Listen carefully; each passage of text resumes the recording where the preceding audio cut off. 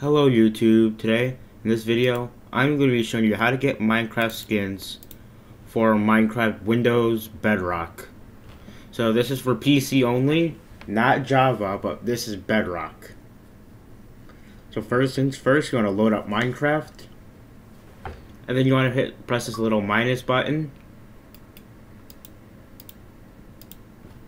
And then you want to open up your internet browser and now you just want to search and I'm going to be searching for an old Steve skin download and then I prefer going to this website right here.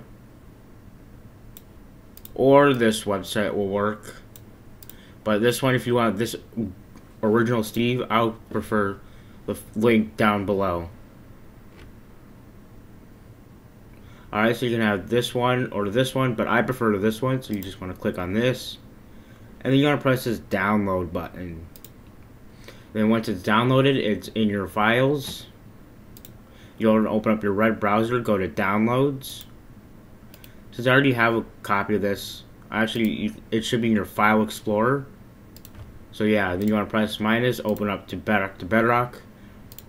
And then you want to press dressing room. You can see I already have the Steve skin equipped.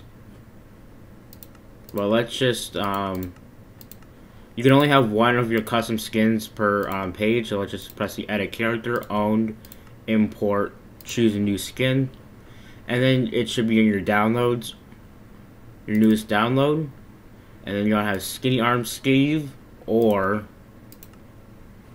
you can get big original Steve arms, which I prefer. Alright, and that's pretty much it. Hope you guys enjoy the video.